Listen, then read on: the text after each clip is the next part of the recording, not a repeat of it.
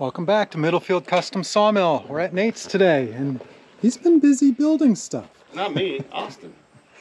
This is all Austin's.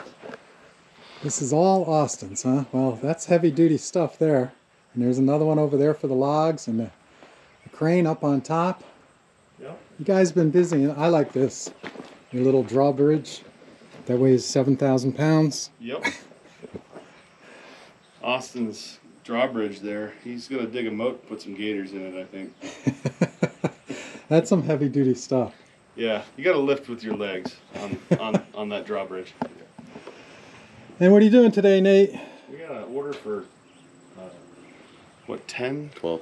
12 two, Two by by fours. fours, Eight foot. eight foot long. So we gotta get that done. Two by four by eight. Yep, Okay. real easy one. All right, well, let's make some sawdust. Heck yeah. Tell me when it looks kind of level.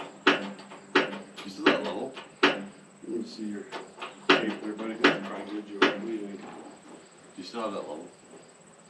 No. Well, it's the centers that you want to get. Right. Looks like six to me.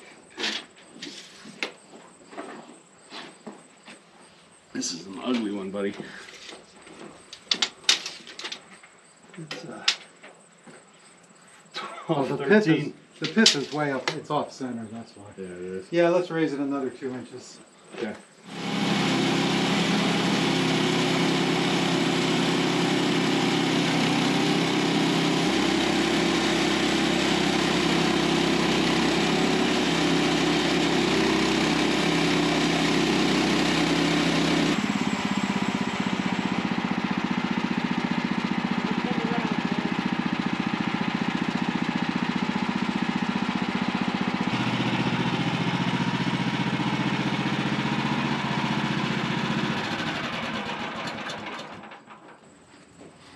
Do you think, George?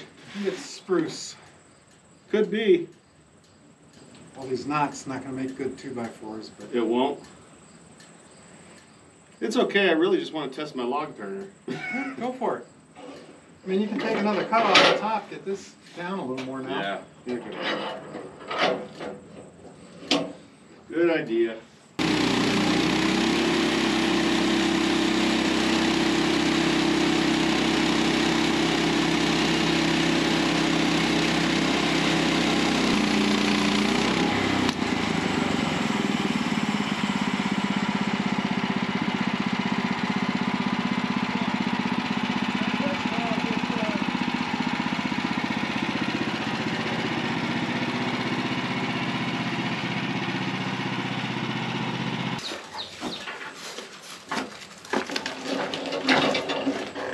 Toe boards come down easier than mine.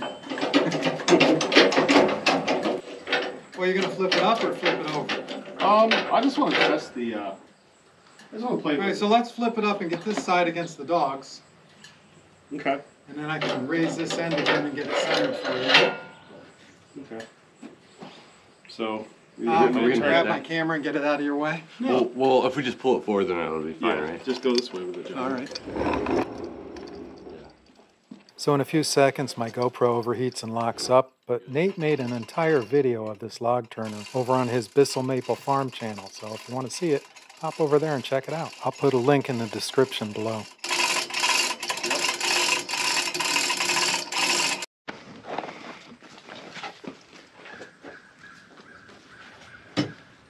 Ooh.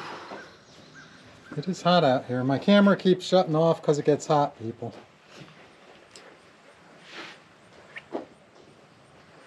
But there's what we cut. The bottom is flat.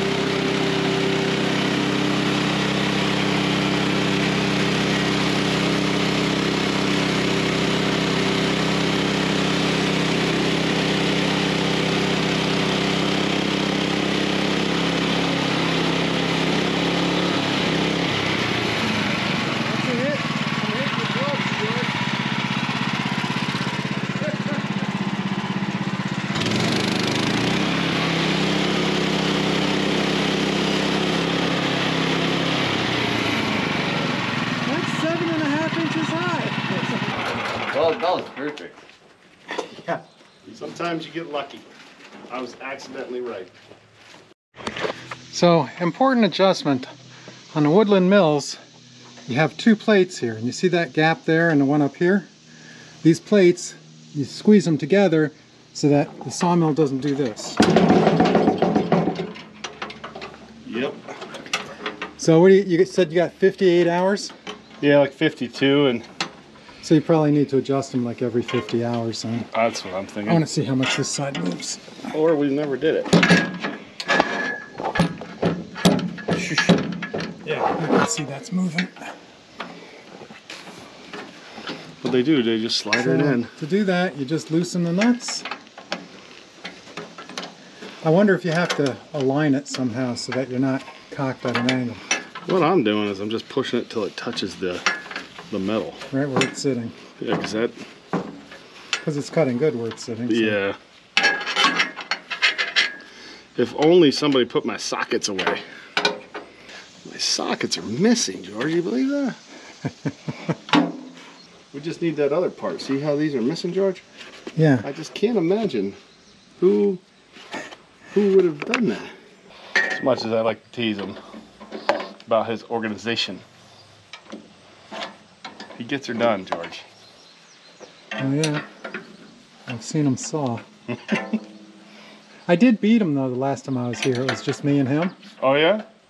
So I Didn't you finished my a- log first because I took bigger cuts. Oh, I got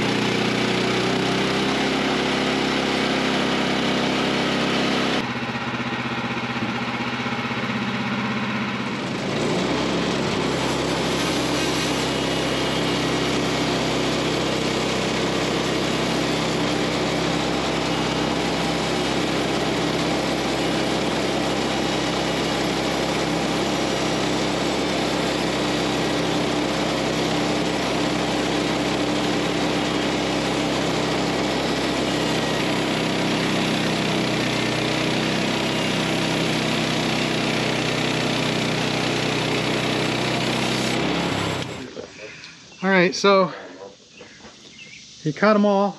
We stood them up on end. We got to do a cut here and a cut here to make two by fours and a sticker at the top.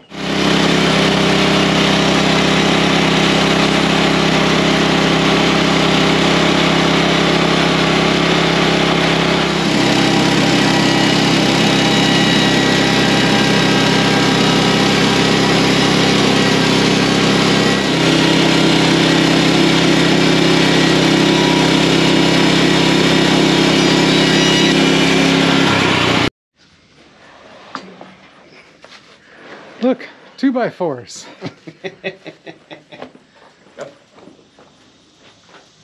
nice long straight ones.